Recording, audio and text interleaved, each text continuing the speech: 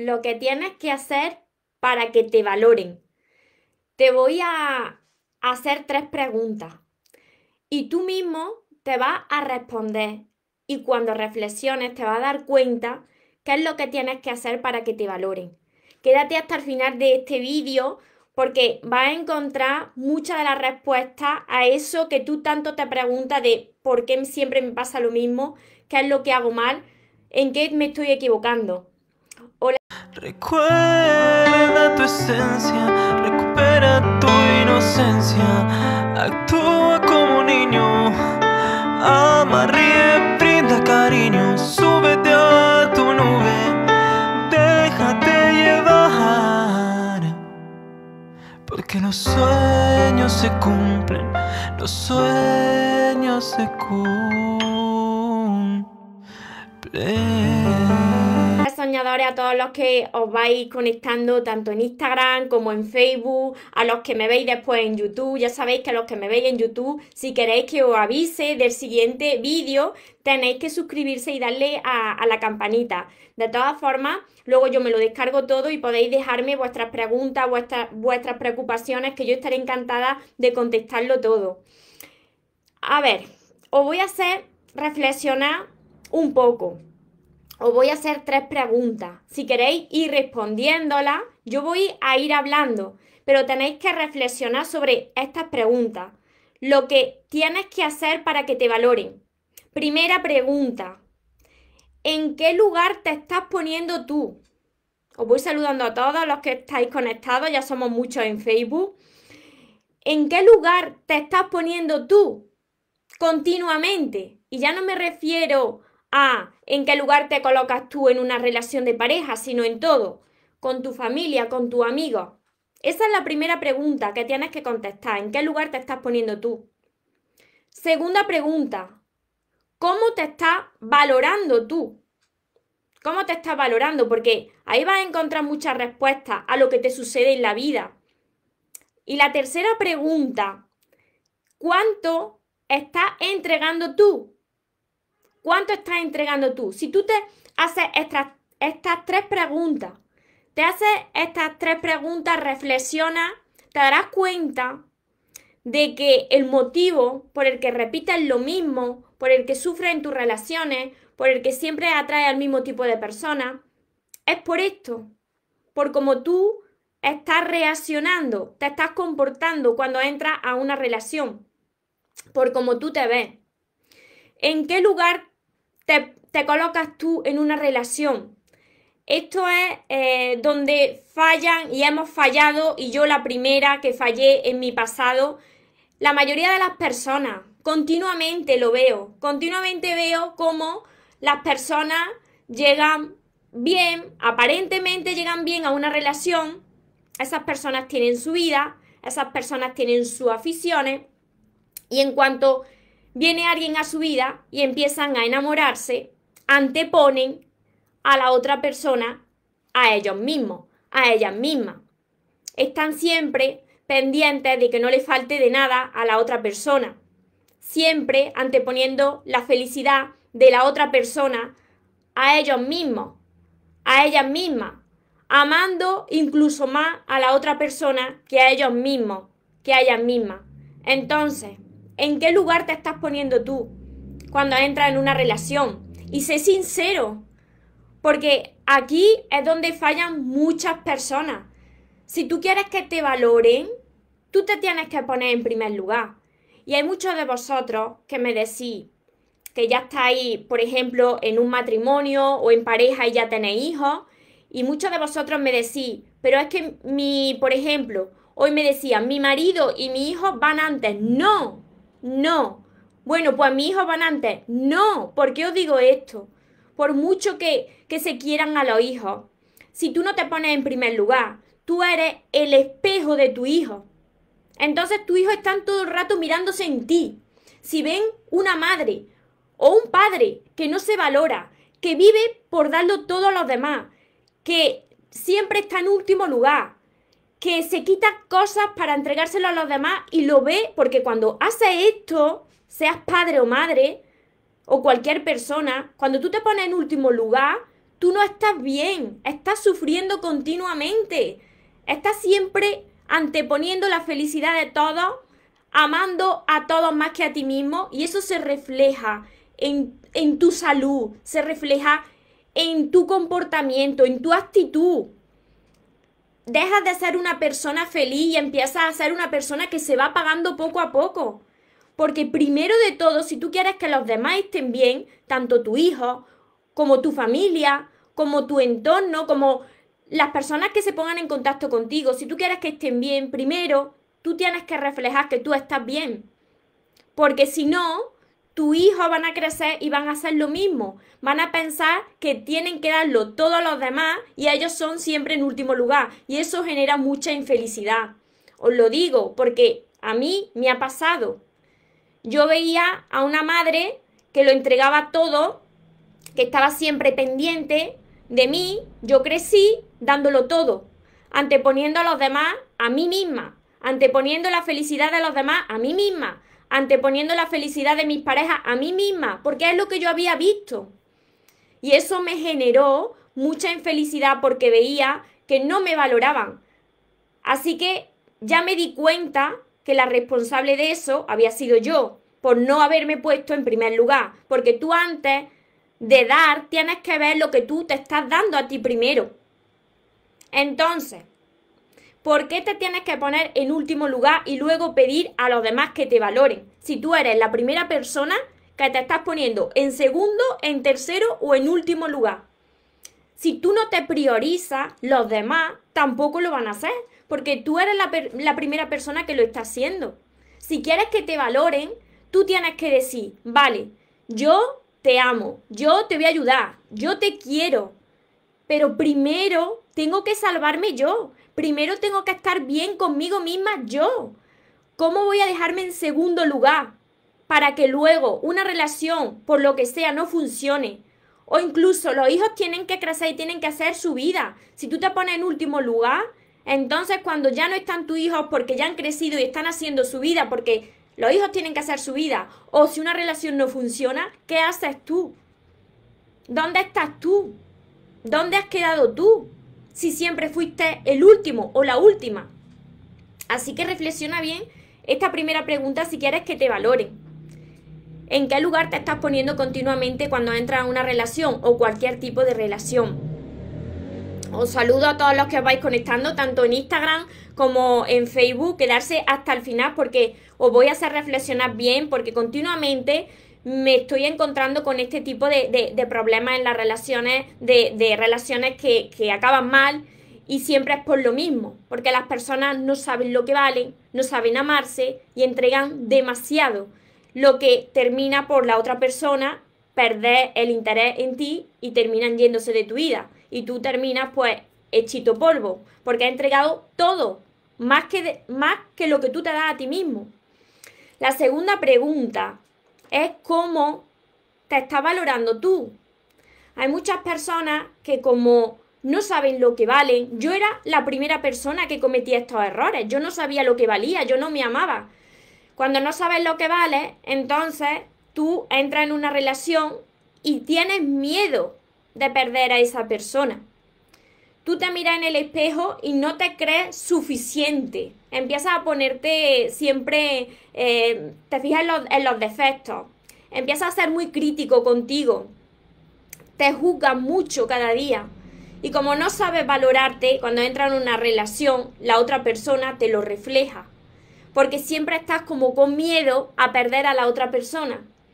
Y cuando tienes ese miedo, empieza a hacer comparaciones. Tienes miedo de que la otra persona se fije en alguien más, porque tú no sabes reconocer ese valor que tienes, lo extraordinario o extraordinaria que eres. Al no tener seguridad en ti mismo, eso se transmite a la otra persona, lo que hace que pierda el interés en ti. Y como das tanto, también la otra persona no lo sabe valorar. Y esta es la tercera pregunta que os voy a hacer. A ver, por aquí. Quizás no comenzar una relación sin antes valorarte tú. Por supuesto, por supuesto. Si tú antes no te, no te sabes valorar, si tú no sabes apreciar los momentos de soledad contigo, tú no eres feliz en soledad, y continuamente estás buscando eh, el apoyo en alguien, el agradar a alguien, la aprobación en alguien, cuando tú entras en una relación, pues tú coges, tomas el riesgo de que esa relación no funcione. Porque siempre vas a estar anteponiendo a la otra persona que a ti mismo, antes que a ti, amando más que a ti, queriendo que la otra persona sea feliz antes que tú, quitándote cosas a ti para dárselo a la otra persona. Todo lo que quiera la otra persona se lo va a entregar. ¿Por qué? Porque temes perder a esa persona. Temes quedarte solo o sola. Porque no te crees lo suficiente como para primero dártelo tú sin temor a que la otra persona se vaya. Porque piensa que si tú te antepones, la otra persona se va a salir de tu vida. Y sucede al contrario. Si tú no te pones en primer lugar y te valoras, precisamente la otra persona es que se va de tu vida. Y aquí está la tercera pregunta. ¿Cuánto, cuánto estás entregando? Reflexiona. Cuando entras en una relación o, o si estás con amigos, en tu círculo de amigos, ¿cuánto estás entregando a esas personas? ¿Cuánto estás entregando en la relación? reflexiona bien porque si no te han funcionado tus relaciones de pareja o con los amigos, estás sufriendo continuamente, es porque estás dando demasiado, estás entregando continuamente demasiado. Y no te paras a pensar si primero, antes de ayudar, tú te has ayudado a ti mismo. Si primero, antes que amar, te has amado a ti primero. Primero te salvas tú, siempre. Y esto las personas, hay personas que no lo entienden. Yo era una persona que era así y sufría muchísimo en todas mis relaciones, tanto las de amistad, con la familia, con mis parejas, siempre entregando. Todo es por, por temor a que a quedarte solo, a que las otras personas se vayan de tu vida. Entonces empiezas a dar, a dar, a dar y eso no se valora. Das demasiado. Continuamente dando, continuamente disponible. Todo lo que quieren las otras personas, tú estás ahí disponible entregándoselo hasta te quitas tiempo de ti que necesitas para, tus proyectos, para ti, para tu vida. Te lo quitas ese tiempo porque se lo quieres dar a tu pareja, se lo quieres dar a tu amigo y luego dices, si es que yo tenía que hacer esto y, y, y antepongo la felicidad de los demás a mí misma, a mí mismo. Y terminas por hacerte tan pequeño porque no estás no estás amándote, ni valorándote, ni respetándote cuando tú no te pones en primer lugar, cuando tú no te das a ti primero. Entonces, la primera persona que no se está respetando eres tú, porque antepones a los demás a ti, y eso te resta energía. Cuando termina el día y ves que has dado demasiado y que te has quitado tiempo de ti, que lo necesitas porque tú todavía no te has salvado. Si tú no te has salvado, ¿cómo vas a salvar a los demás? Y esto le sucede a muchísimas personas. Analiza bien, reflexiona. ¿Cuánto estás entregando tú en las relaciones? Eso es lo que te falla. Eso, hay que dar, siempre hay que dar lo mejor. Hay que dar para luego recibir. Pero mira una cosa, en las relaciones no podemos ser tontos. Una cosa es que seamos buenos y otra cosa es que seamos tontos. No puede ser así. Porque seas bueno no tienes que dar en exceso. ¿Por qué? Porque no te valoran. No te valoran esas personas si esa persona quiere, mm, no sé, eh, pues que quiera viajar y tú le digas, pues yo voy y te pago el viaje y me voy contigo. O pues mm, me hace falta una, me hace falta ropa y tú cojas, te quitas de ti y se lo des a esa persona porque le haga falta ropa. Y tú te quedes sin dártelo a ti, sin regalártelo a ti. Me ha pasado a mí, ¿eh? Me ha pasado a mí y se sufre mucho porque la otra persona no lo valora porque se cree que te sobra y no te sobra, te lo estás quitando de ti para hacerle la vida más bonita a la otra persona. Entonces, reflexiona bien estas tres preguntas porque son la clave de que la otra persona que tienes al lado te valore. Porque si no lo haces, va a ver la otra persona que eres alguien que está temiendo que se vaya, que eres alguien que está siempre disponible, que eres alguien inseguro o insegura porque eso lo suelen hacer las personas que, como te digo, no reconocen lo que valen, no tienen seguridad en sí mismos y piensan que dando demasiado la otra persona pues no se le va a ir nunca de su lado y sucede lo contrario. Carmen, nunca tienes tiempo para, para los demás y te olvidas de ti mismo y lo que tú bien dices, primero hay que valorarse a uno mismo. Claro, y esto es lo que fallan Y hemos fallado muchísimas personas, yo la primera. Cuando alguien necesitaba ayuda, yo corría, corría a ayudarle. Sin embargo, yo todavía no me había sanado, no me había salvado tampoco. Todavía yo no reconocía lo que yo valía. Todavía no me amaba como yo me amo. Entonces, ¿cómo voy a ayudarte a ti si primero no me ayudo a mí?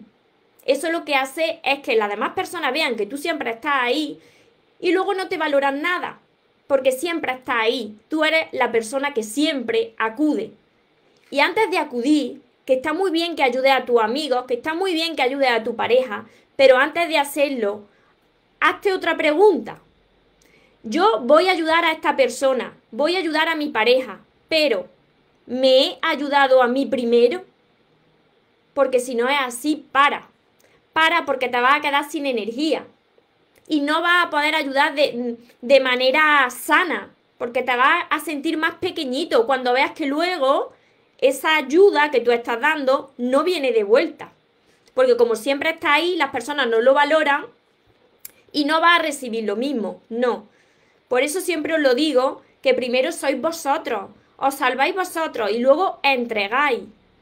Cuando empezáis una relación de pareja, aunque vosotros penséis que ya sabéis lo suficiente, que ya habéis aprendido a amarse lo suficiente, la vida no va a parar de poneros a prueba. Entonces, cuando empecéis una relación de pareja, como estáis acostumbrados a actuar de una misma manera, vuestra programación va a ser que volváis a, cuando os enamoréis, entregar. Queréis que eh, la otra persona esté bien. Poco a poco vais a ver cómo vosotros vais poniéndose en segundo lugar sin daros cuenta.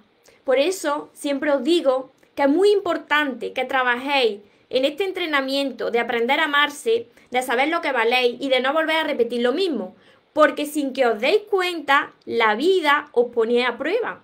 Y entonces os presenta una persona y vosotros volvéis a caer. ¿Por qué? Porque decís, bueno, pero esta persona es diferente, voy a empezar a entregar, a entregar, a entregar, y cuando menos lo esperéis, estáis otra vez en segundo plano. Y si vosotros empezáis a dar otra vez en exceso, va a volver a suceder lo mismo. Siempre os lo digo. En el amor no basta con ser buena persona. Os lo repito siempre, no basta con ser buena persona. Porque hay que saber bien mover la ficha de este juego. Dar amor dosificando. Y esto hay personas que dirán, dosificando, sí, dosificando. Y lo veo continuamente. Las relaciones que han fallado ha sido porque una de las dos personas ha entregado demasiado a la otra persona.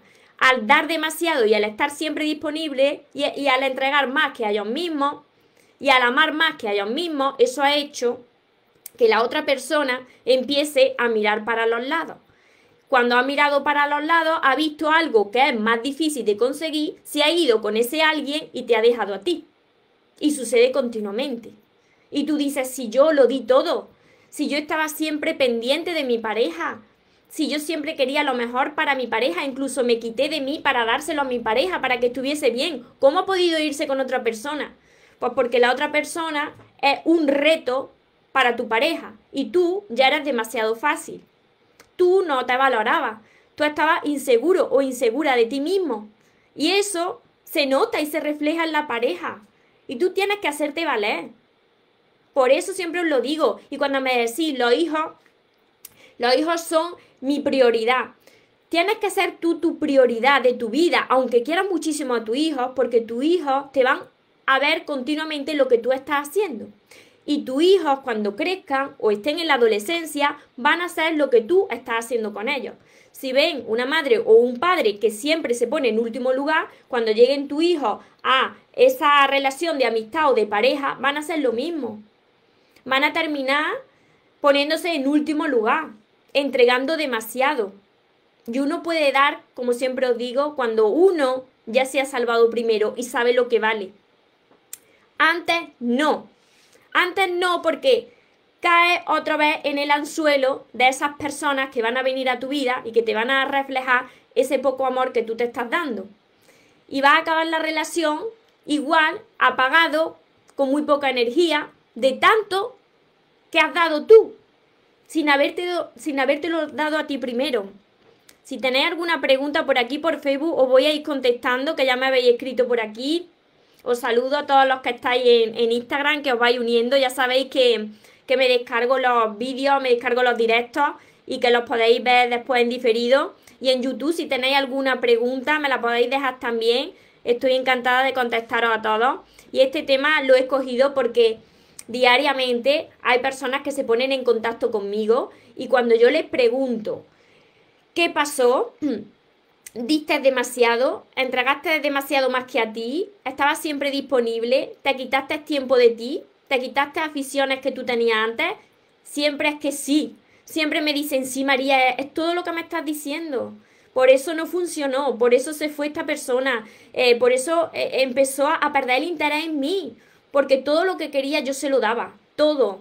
Siempre corría a contestar sus mensajes, siempre estaba ahí. Y claro, cuando uno come chocolate a toda hora, todo el tiempo, ¿cómo va a apreciar el chocolate si está siempre ahí para ti? Así, eso sucede en las relaciones. Cuando uno no se sabe valorar. Hola Tania, Rocío, Soledad, Estrella. Desde luego toda la razón. Ahora me quiero yo más y estoy antes que todo, por supuesto. Marta, Catalina, yo quiero ayudarme a subir mi autoestima. ¿Cómo debo empezar por todos mis libros? Marta, ¿por qué te digo por todos mis libros? Porque lo de subir la autoestima no son una serie de, de ti y ya está, sino que tienes que trabajar bien contigo, con tu sanación, con la reconciliación, con tu niña interior y todo eso lo tengo en todos mis libros, todo esto. Aquí está mi corazón puesto para ayudar a vosotros porque yo era una persona que cometí todos estos, todos estos errores que os estoy diciendo, yo los cometí en mi pasado. Por eso estoy tan segura de lo que sí funciona y lo que no funciona. Porque ahora mi vida ha cambiado. Porque por primera vez en mi vida ya llevo bastante tiempo que la prioridad de mi vida soy yo. Y cuando tú eres la prioridad de tu vida y te centras en ti, en aprender a amarte, pues eso se refleja en todo. Atrae a otro tipo de personas a tu vida. Ya puedes darle mejor ayuda porque tú te has ayudado primero. Y ya no das demasiado, sino que das dosificando, lo que hace que las otras personas valoren más tu ayuda. A ver, os voy contestando también, Soledad. Así es, no me valoraron y hoy decidí amarme más y valorarme y tener amor propio. Muchas gracias por tus lindas palabras. Soy de Yuyuy, Argentina. Juana, me está pasando todo lo que estás diciendo y por temor a fallar, lo hacía. Me ha pasado en dos relaciones y lo estoy pasando fatal. Nunca me ha pasado y nunca he sido así y necesito esa dependencia. Es la primera vez que me pasa. Necesito, a ver, la dependencia emocional, que me valoren, que me digan guapa. Eso es falta, claro, eso es falta de amor propio, por eso sientes esa dependencia, porque como no sabes dártelo a ti misma, Juana, pues necesitas que los demás lo hagan y te sientes más vacía aún, porque vas a atraer a personas precisamente que no te saben valorar y que no te saben amar. Cuando una persona tiene vacío interno, atrae a su vida personas que la dejan más vacía aún. Entonces ahí tienes que sanar mm, tu pasado, tienes que hacer las paces con tu niña interior y todo eso lo explico aquí, en todos mis libros. Hola Carolina. Eres muy generosa compartiendo todo con nosotros, mademoiselle, Ernest. Gracias. Muchas gracias. Porque todo esto yo lo he pasado antes. Como esto lo he vivido yo antes y veo que hay muchísimas personas que están metidos en, esta situación, personas que, que ya han terminado una relación de pareja o que están en una relación de pareja donde no se sienten bien y me dicen, es que entrego demasiado y no recibo lo mismo. Y siempre os pongo la, os digo la misma pregunta. ¿Cuánto te está dando tú? ¿Cuánto te está valorando tú? Y siempre me contestáis lo mismo, que entregáis demasiado. Domini, hola María. ¿Vale, dar, ¿Vale la pena dar una segunda oportunidad después de una infidelidad? Mira, Domini, ahí tú tienes que reflexionar bien. ¿Por qué quieres compartir tu vida con alguien que te ha sido infiel? ¿Qué es lo que te aportaba a ti esa relación? ¿Tú te encontrabas bien con esa persona? Porque si acaban de, hacer, de serte infiel y te están pidiendo perdón y tú antes veías que en esa relación no te aportaba nada esa persona, te restaba energía, eso es falta de amor propio. Porque puede que las personas cometan errores, puede que se equivoquen, puede que te pidan perdón, pero si ha sido todo muy reciente, esa persona no cambia de la noche a la mañana. Tiene que pasar un tiempo. Que esa persona de verdad, pues, mm, te pida perdón sincero. Que no sea para volver a repetir lo mismo. Ahí tienes tú que reflexionar. Si eso ha sido ahora, reciente, una persona no cambia de la noche a la mañana. Además, te digo una cosa, Dominique.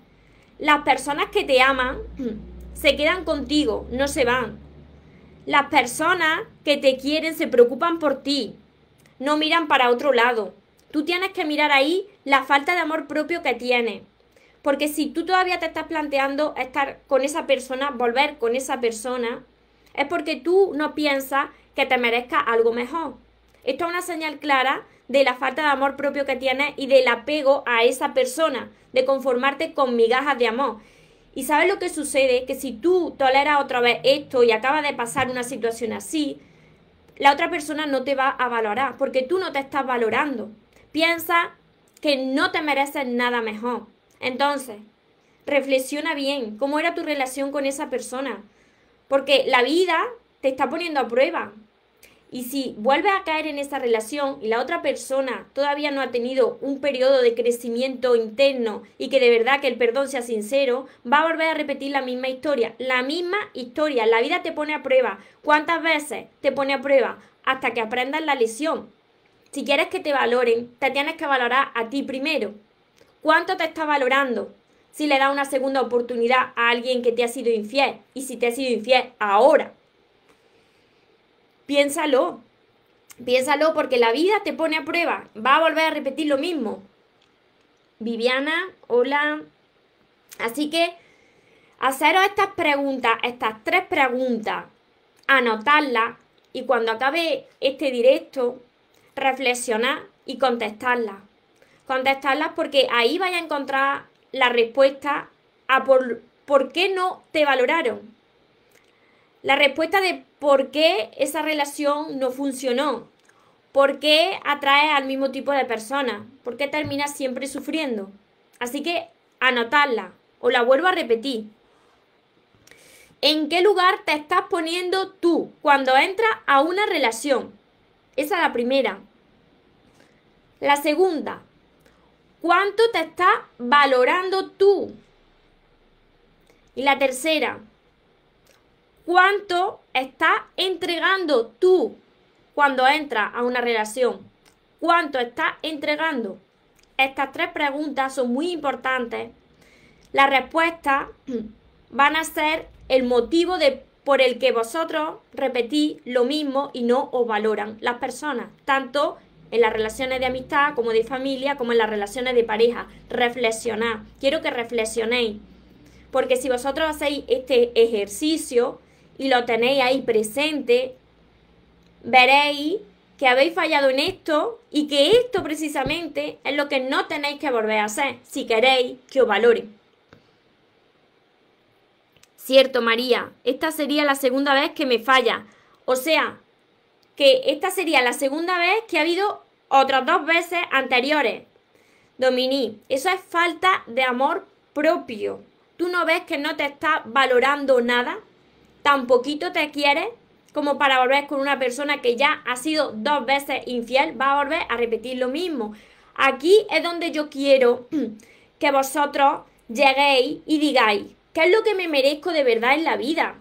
Yo quiero que lleguéis a un punto donde aprendáis todo lo que vosotros valéis, aprendáis a amarse para que podáis ser capaces de decidir vosotros mismos qué es lo que os merecéis y qué es lo que no os merecéis en la vida.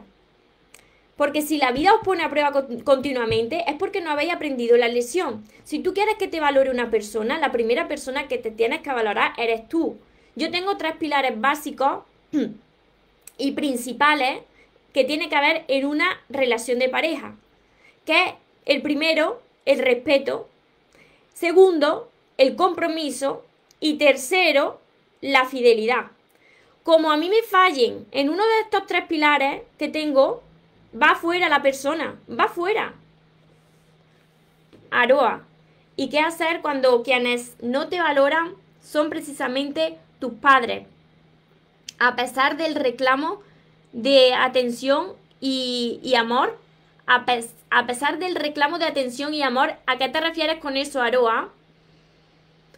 Tienes que sanar esa relación con los padres. ¿Sabes por qué? Porque cuando uno no perdona, aunque sea algo imperdonable, cuando no perdona a sus padres, eso lo que hace es que se refleje en la pareja, en las parejas que tengan. Lo que no te he entendido es lo que me ha dicho, a pesar del reclamo de atención y de amor. ¿De quién? El reclamo de atención y de amor de quién? ¿De ellos o tuyo? Magic. Lo conocí y nos vimos cuatro veces. Pero él me ve cuando él quiere y no es así. No es así, por supuesto que no es así. Pero vosotros lo sabéis, vosotros tenéis que reflexionar. Si alguien nada más que te quiere para las ocasiones, ¿y tú? ¿Para cuándo te quieres tú? Esa es la falta de amor propio que te tiene a ti, la falta de valor que te da a ti. Por eso la otra persona puede hacer contigo lo que quiera porque siempre está disponible. De buscar su amor, de no entender los abandonos en los momentos importantes. Pues Arúa, desde mi experiencia, reclamo de amor yo a ellos. No, mira, Aroa, desde mi experiencia personal, y tú creo que tienes mis libros, tienes que perdonar a, tus padres porque quizás tus padres hayan tenido un pasado que le ha dolido. Quizás tus padres no han sabido hacerlo de otra manera. Todos tienen un pasado, todos pasan por situaciones dolorosas y muchas veces los padres que están mal ellos o entre ellos eso lo reflejan en su hija. Por ejemplo, yo, me, yo crecí y sigo sin la figura paterna. Sin embargo, yo no reclamo amor de la figura paterna. Lo perdono porque sé que no ha sabido hacerlo de otra manera. Tendrá sus razones, tendrá su dolor por dentro, pero eso tienes que perdonarlo si tú quieres avanzar en la vida. No puedes depender de esa relación que tienes con tus padres para que te afecte en tu vida de hoy en día. Tienes que sanar esa relación para que tu, hoy en día tu relación con los demás, tanto amigos como pareja, se transforme. Porque si no va a repetir lo mismo en la relación con tus parejas. Me tuvieron muy joven, no fui hija deseada. Sí, ¿ves? Tienes todos mis libros. Pues tienes que ser capaz, Arua, de perdonar a esas personas porque yo estoy segura, sin conocerlo, que le han tenido que tratar a ellos en su vida, en su infancia, mal, tienen dolor por dentro y eso viene arrastrado y es lo que hace que se refleje en ti, que lo hagan contigo. Pero no porque ellos quieran, sino porque vienen con esa programación. Yo perdoné a mi padre y yo no lo tengo presente y sigo sin tenerlo presente pero puedo entenderlo, puedo entenderlo porque estará tan mal por dentro que por eso no puede ocuparse de su hija. En, tu caso, pues, tus padres no te pueden dar el amor porque seguramente ellos estén muy mal por dentro. Ahí yo tendría que ver qué es lo que sucedió. Eso ya es para una sesión privada, Aroa, porque tendría que ver qué sucedió en, en, su pasado con tus padres, cómo es la relación entre ellos. Eso es un tema ya más extenso que hablar. Pero te digo una cosa, hasta que tú no sanes eso y seas capaz de perdonarle, porque ellos te dieron la vida, aunque fuese no deseada, hasta que no seas capaz de perdonarle, tu vida no va a cambiar, porque lo va a reflejar en tus relaciones de pareja. Lo sé, sé que tienen herida especialmente mi madre. Pues por eso te digo, por eso te digo, yo hasta que no sane esa parte de decir, vale, no tengo a mi padre, pero te perdono. Te perdono porque si tú no, no te has querido ocupar de mí, será porque tú estás mal por dentro. Tendrás tu propio dolor. Así que hay que sanar eso si quieres que tu vida, en tu vida atraiga otro tipo de relaciones de pareja, de amistad, todo, todo. Si no sana esa relación con tus padres, no puedes disfrutar de relaciones de pareja sanas. Lo vas a reflejar en tus parejas que atraiga. Además, seguro que te habrá pasado, porque a mí también me pasaba. Así que no dependa de ese amor, porque ese amor te lo puedes dar tú a ti misma. Y te digo una cosa, cuando vean que tú has cambiado, que tú te valoras, que tú sabes amarte sola, poco a poco ellos van a ir cambiando también contigo. No te tiene que influir. ¿Los perdona y te aleja? Pues sí, sí, sí, te aleja. Los perdona, le envía amor y te aleja. Así. Y cuando vean que tú creces como persona, por tu misma vibración que estás emitiendo, va a ver cómo ellos van cambiando. Y si no, es porque ellos tienen que trabajar con ellos mismos. Pero es muy importante que, que realicéis este primer paso de la sanación. Lu, ¿qué tan cierto hay, María, de aquellas mujeres que viven teniendo relaciones sexuales que dicen que se valoran? No te entiendo. Lu, relaciones con más personas, que tienen relaciones esporádicas, eso ya depende de cada uno. Si uno busca una relación esporádica y así es feliz, pues vale, pero quien busque una relación con compromiso, pues eso tiene que descartarlo. ¿Por qué? Porque tú vas a traer a tu vida eso que tú estás haciendo. Si tú tienes relaciones esporádicas y quieres un amor con compromiso sano, verdadero, entonces no lo vas a traer a tu vida. Primero tendrás que convertirte tú en la persona que tú quieres atraer en tu vida porque de los otros te puedes alejar, pero de tu familia duele mucho alejarse, pero es necesario para sanar, Aroa, es necesario alejarte para sanar. Yo no tengo la presencia de mi padre en mi vida y vivo, feliz. Y no por eso, por no tenerla, me dificulta en mi vida.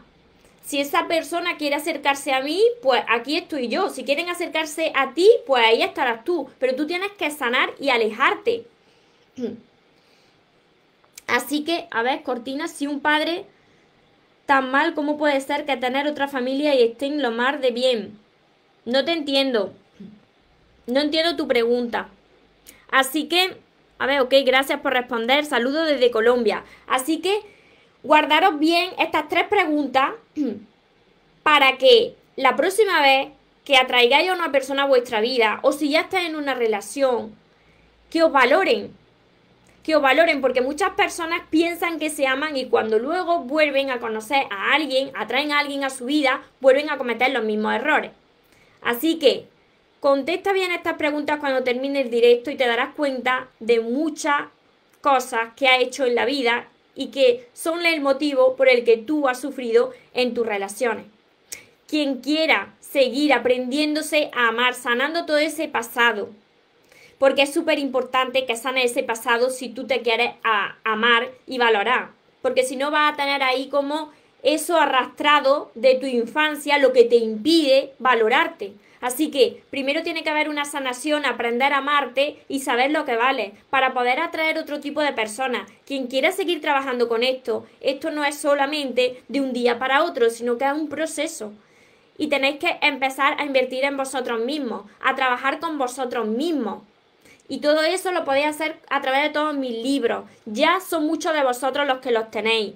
Esto es un entrenamiento que tenéis que trabajar bien, que tenéis que releer. No solamente basta con leer una vez y lo guardáis. Tenéis que releerlo, tenéis que subrayarlo, tenéis sobre todo que aplicarlo. Y entonces veréis que poco a poco vuestra vida va cambiando porque vosotros vais cambiando vais valorándose, vais amándose. Lo tenéis en mi página, en mi página web mariatorremoro.com. Hola Joana. Cortina, no sé qué, escribí horrible. Así que espero haberos ayudado, que sigáis con el entrenamiento, que el aprender a amarse no es de un día para otro, que no acaba nunca, que el crecimiento personal no acaba nunca, porque es un entrenamiento y como cualquier entrenamiento, igual que el entrenamiento físico, cuando tú dejas de hacerlo, vuelves a tu antigua forma. Entonces esto no puede acabar nunca, porque si no, vuelves a repetir la misma historia. Así que espero haberos ayudado. Si tenéis alguna pregunta, ya sabéis que me lo podéis dejar, que me podéis contactar, que también doy sesiones privadas para quien lo necesitéis, que podéis ampliar vuestros conocimientos en todos mis libros. Y como siempre recordaros que os merecéis lo mejor, no os conforméis con menos. Dominique, no os conforméis con menos y que los sueños se cumplen para los que nunca se rinden. Que tengáis una feliz tarde, un feliz día, los que me estáis viendo desde otra parte del mundo y os amo mucho. Porque los sueños se cumplen, los sueños se cumplen.